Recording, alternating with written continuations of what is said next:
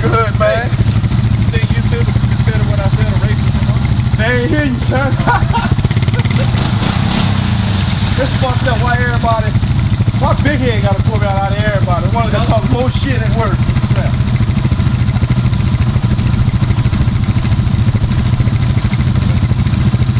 What's that for?